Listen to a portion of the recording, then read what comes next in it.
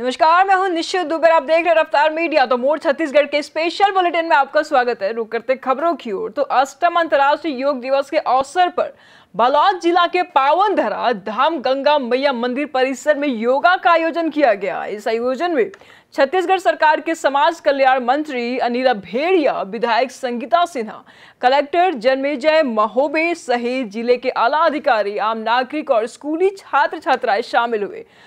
वहीं इतने बड़े आयोजन में ज़िले के खेल अधिकारी शासन प्रशासन को ठेंगा दिखाकर कार्यक्रम से नदारत रहे।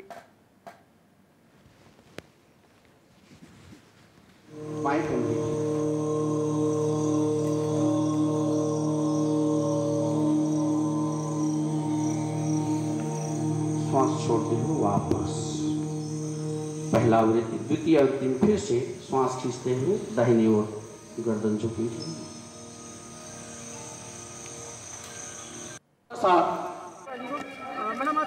आज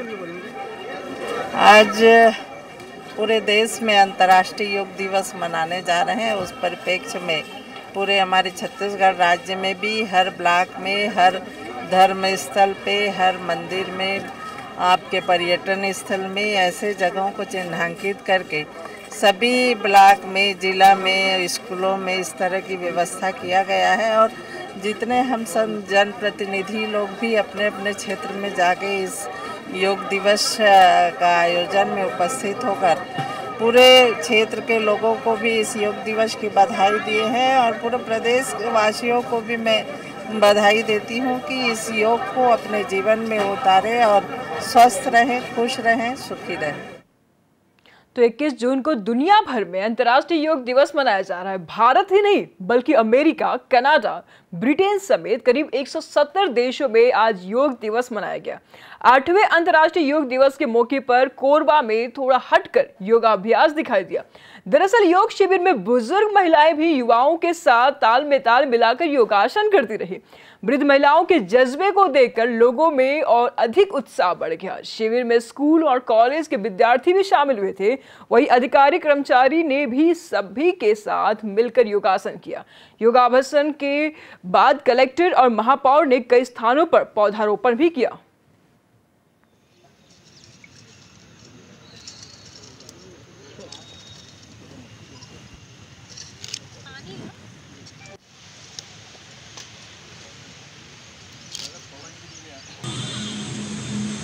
अब एकल संचालन का अगला अभ्यास दोनों हाथ तो बिलाईगढ़ विधानसभा क्षेत्र में अंतर्राष्ट्रीय योग दिवस मनाया गया, जहाँ बिलाईगढ़ तहसीलदार ने पूजा अर्चना कर योगाभ्यास की शुरुआत की। इस दौरान नगर के अधिकारी, कर्मचारी सहित जनप्रतिनिधियों ने योगाभ्यास किया और सभी ने स्वास्थ्य के प्रति जागरूक होने के लिए और लोगों को प्रेरित करने के लिए संकल्प लिया। वही बिलाईगढ़ एसडीएम ने आगे कहा कि आज पूरे देश में योग दिवस मनाया जा रहा है। शरीर और मन को स्वस्थ रखने के लिए सभी को योगाभ्यास करना चाहिए।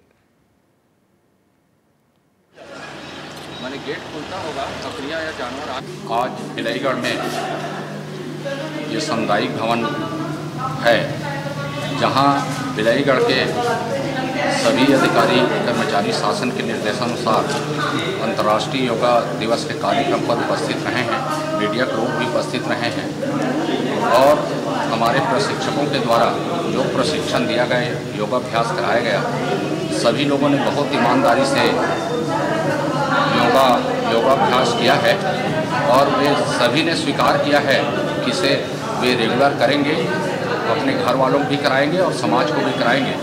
सबको निश्चित ही इस योगाभ्यास का स्वास्थ्य लाभ होगा। वे स्वस्थ रहें।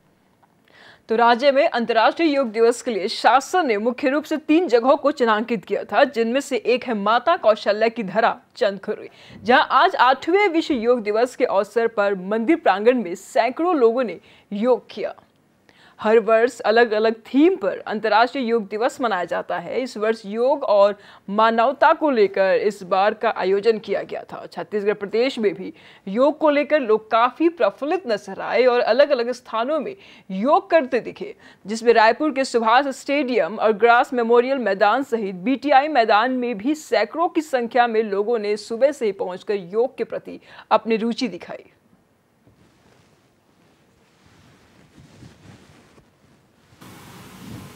आठवें अंतर्राष्ट्रीय योग दिवस के अवसर पर हमारे आराध्य देव श्री राम की माता कौशल्या के पवित्र मंदिर प्रांगण में आज भव्य योग शिविर का आयोजन हुआ। भारत सरकार के आयुष मंत्रालय द्वारा जारी प्रोटोकॉल के तहत उन्होंने पूरे देश में ऐसे 75 स्थानों को जो पौराणिक एवं धार्मिक दृष्टि से ऐतिहासिक स्थल के रूप में प्रसिद्ध हैं, उन जगहों को उन्होंने योग शिविर के लिए चयनित करने को राज्य सरकारों को निर्देशित किया था। उसी तारतम्य में हमारे प्रदेश के यशस्वी मुख्यमंत्री भूपेश बघेल जी ने उनके निर्देशन में सभी जिलों में प्रदेश के तीन ऐसे स्थलों का चयन कर वहाँ पे अंतर्राष्ट्रीय योग दिवस के अवसर पर योग शिविर का, अभ्यास केंद्र का आयोजन किया गया। मुख्य रूप से राज्य स्तरीय कार्यक्रम चंदखुरी में, माता कौशल्या मंदिर स्थित प्रांगण में किया गया, जहाँ लगभग 1500 लोगों ने इस अवसर पर योगाभ्यास किया। योग और मानवता को लेकर के ये आयोजन योग का किया गया था। निश्चित रूप से पूरे प्रदेश में और विशेष रूप से राजधानी रायपुर में योग को लेकर के जिस प्रकार का उत्साह दिखा, वो देखते ही बनता था। ऐसा कोई भी सार्वजनिक जगह, उद्यान हमको खाली नहीं तो धमतरी ज़िले के ग्राम परखंदा की स्थानीय ग्रामीण महिलाओं ने अपनी टोली बनाकर अवैध रेत खनन के खिलाफ मुहिम छेड़ दी है। ग्रामीण महिलाएँ अब एकजुट होकर समस्त महिला ग्राम सौंगा विकास खंड मगर लोड और ग्राम परखंदा विकास खंड कुरुद अंतर्गत विगत छह महीने से अवैध रेत खदान से रेत खनन पर आक्रोशित हो गई है। महिलाओं का आरोप है कि शिकायत के बावजूद भी खनन कार्य ठेकेदारों द्वारा संचालित किया जा रहा है। इसमें ठेकेदार और ग्राम विकास समिति सरपंच, ग्राम पंचायत की मिली भगत साफ़ तौर पर दिखाई दे रही है। ग्रामीणों द्वारा लगभग 22 लाख रुपए की लेन देन का आरोप भी लगाया गया है। ग्रामीणों ने कहा है कि यदि कोई कार्रवाई नहीं होती है तो आने वाले समय में रायपुर में सीएम हाउस का घेराव करने पहुँचेंगे। इस मामले में जिला कलेक्टर एल्मा ने कार्रवाई की बात कही है।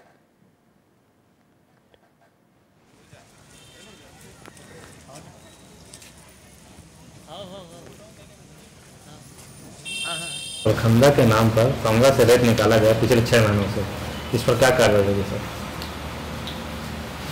ये तो अभी निरंतर चल रही है प्रक्रिया, जैसे कल परसों उनतीस गाड़ी पकड़े थे, अभी अभी पकड़े हैं, अवैध खदान सब बंद किए हुए हैं। हम लोग रोज अभी हमारे खनिज अमला भी और पुलिस के कर्मचारी भी मौके पर जाकर देख रहे हैं, रात को भी गश्त कर रहे हैं। ये निरंतर प्रक्रिया है और अभी इस पर कार्रवाई की जा रही है। अपन रेतीला, हमारे एरिया के रेतीला पूरा खन के अपन गाँव में मतलब बिक्री चोरी से चोरी से नंबर मिले थी सोमाला खदान मिले थी, बाईस नंबर। बाईस बटा नब्बे और हमार हमार खदान के रहती ग्यारह बटा तेरह।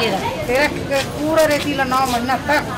पूरा मना ढुहार के अपन गाँव से अपन मजदूर चले इस अपन गाँव में पैसा जमा करे। एक पर हम अपना तीन महीना हो गया मना घूमत हम जब तक महिला बहनी मन है मना धाम प्याज संगत हूँ। हमारे यहाँ ना अवैध खन के रेती ले गए हैं उसके बारे में आए कलेक्टर साहब के पास। तो निवेदन है कि हमारे जो मौका जाँच करने के लिए बोले जितना भी रेती है अवैध खनन के लिए गए हैं उसके लिए। और चाहतन जो अवैध खनन के रेती ले है ना उसके लिए कुछ करे सरकार कदम उठाए कि हमारे गाँव के जो रेती है ना वो मतलब बचाना चाहते हैं। सरपंच सचिव आपके ग्रामीण अध्यक्ष क्या कहना है? वो मन कहना तो मन के साथ है पर आज नहीं है साथ में तो यही तो साथ है आधा अधूरा वाला। हमारे हाथ हन कि ओकर मन के साथ नहीं मिला। लेकिन पूरा हमारे जितना भी छत्तीसगढ़ के शासन है, ओकर मन के सहयोग मिले हमारा हम आगे बढ़ना चाहता कुछ तो दंतेवाड़ा ज़िले में सैकड़ों की संख्या में ग्रामीण आदिवासी महासभा के कार्यकर्ता और ग्रामीण महिला रैली करते हुए कलेक्ट्रेट पहुँचे, जहाँ 10 सूत्रीय मांगों का ज्ञापन प्रशासन को सौंपा। आपको बता दें कि कल भी बेलाडीला में स्थित एमएनडीसी परियोजना किरंदुल का घेराव कर ज्ञापन सौंपा था। इस विशाल रैली में पहली बार बेलाडीला पहाड़ के पीछे बसे लोगों ने भी अपनी उपस्थिति दर्ज कराई और अपनी मांगों को रखा। कई ग्रामीण ऐसे थे जिन्होंने अपने जिला मुख्यालय में पहली बार आए थे, जहाँ अपने जल जंगल ज़मीन को अपना बताते हुए कहा कि सरकार ने हमें अभी तक अपने विकास से दूर रखा है। यही कारण है कि अपने हक के लिए आंदोलन करना पड़ रहा है। ग्रामीणों की मांग है कि क्षेत्र में स्कूल खुले, जहाँ एलकेजी से कॉलेज तक की पढ़ाई का जिम्मा एनएमडीसी उठाए।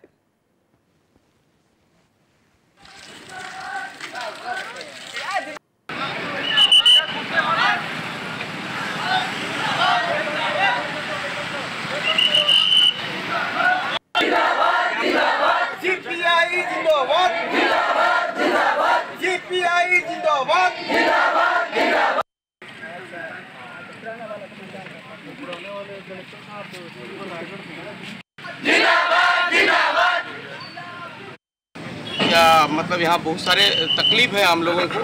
आ, उस क्षेत्र में रहने वालों को आ, कोई सुविधा नहीं मिल रहा। एक तो आ, दूर के लोग हैं। और यहाँ पर नक्सल क्षेत्र घोषित करने के कारण से आप आज जो सभी लोग जो हैं दूर अंचल के गाँव में रहने वाले लोग डर करके इधर सामने आते भी नहीं है और वैसे वो लोग समस्या से पीड़ित पड़े हुए हैं।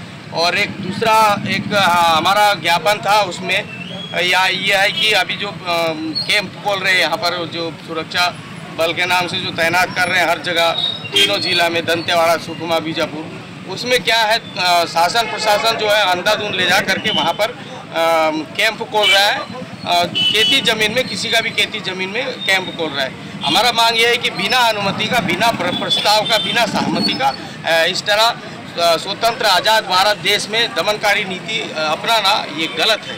हम गाँव के लोग कोई भी बस्तर में ग्रामवासी और गाँव के लोग आदिवासी कभी विकास का विरोध नहीं किए हम विनाश का विरोध करते हैं। यहाँ पर जल जंगल जम, ज़मीन का जो शासन प्रशासन ने विनाश कर रहा है उनका विरोध कर रहे हैं हम विकास का विरोध नहीं कर रहे हैं। यहाँ पर सरकार सरकार के पास कोई मुद्दा नहीं है राजनीतिक पार्टी के पास कोई मुद्दा नहीं है जो कुर्सी के लिए लड़ते हैं कांग्रेस, बीजेपी वाले। इसीलिए आदिवासियों को एक नक्सलवाद का झांसा देके इनको, इनका नाम से अब वक्त हो चला एक छोटे से ब्रेक का, फ़ौरन लौटेंगे।